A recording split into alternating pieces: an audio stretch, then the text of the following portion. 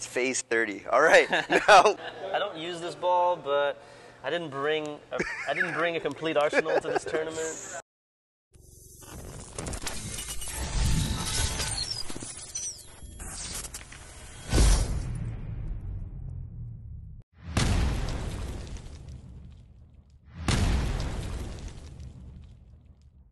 welcome back to JR Pro Shop Vids. Today we're with PBA Major Champion, Canadian legend, Francois Lavoie, and we're going to be talking about how he builds his arsenal. So Frankie, we got six balls in front of us. Uh, let's start with the high end. Tell us what you got there and why you like it. Okay. The first ball I got right here is a strong ASIM solid. Um, the reality is useful on a lot of different conditions, I feel like. I use that on fresh quite a bit. Mm-hmm. Strong ASIM solids are like the strongest balls out there, so I always have I always make sure to have one of those in my bag. Um, so in this case, I have the reality. Awesome. So that's your big tank that most people would have at the yeah. top end? Yeah. Awesome. Yeah. And then moving down a step, I guess? Uh, okay, moving down a step, we're sticking with, um, sticking with the ASIM core, but um, going with something a little cleaner. So still something that's going to want to stand up that can handle a lot of oil. Um, but that's going to be a little a little cleaner than the, the big monster over here. Mm-hmm. So typically, do you like to keep the same core kind of with your with your big ASIM and your ASIM Pearl? Not necessarily. Um, if I have a limited arsenal like this, if I'm only taking a, a set amount of balls, um, I don't always have the same core. Just in case that core doesn't match up, then mm-hmm. you have kind of two balls that you're not really using. Awesome.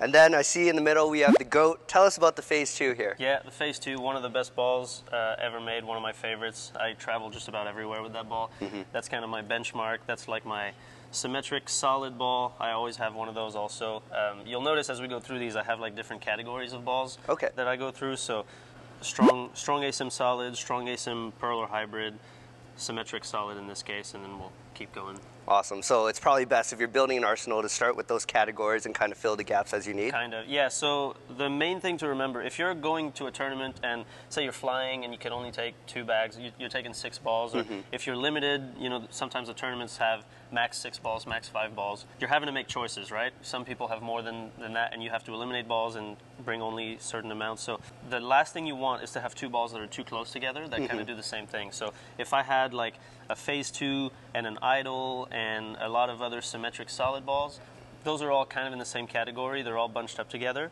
and so that really limits your options when say you don't know the pattern, or even if you do know the pattern, maybe that type of ball doesn't really match up, and then mm-hmm. you're uh, you're kind of out of luck. Awesome. So, how many phase twos do you think you've drilled in your entire career? I probably have drilled 15 phase twos so far. It's phase 30. All right. now, moving on to the Idol Cosmos, we got a Sim Pearl here. Yeah, yeah, exactly. So, moving on down, different category, symmetric again. Um, this time, just like I said, cleaner. Um, the Idol core is still pretty strong for me, so that one still can handle oil, but it's a little rounder than these asymmetric balls. Mm-hmm. Um, so I, I, really like to have an option like that. Um, something off the face too I can go to when the fronts start to go, and I need something that gets through a little bit a little bit better. Sweet. And then we got the brand new Phase Five, sticking with the phase line here. Yeah, yeah, sticking with the phase line. So uh, as I said, I don't normally have two of the same core, um, but in this case, I do. The the Phase Five uh, has impressed me so far. I've, I've drilled it just a, a couple of weeks ago, and mm-hmm. yeah, I like what I see from it. That's kind of like um, as we move down from the stronger symmetric pearl, I like to go to a little bit weaker, a little bit cleaner and sharper mm-hmm. um, symmetric pearl.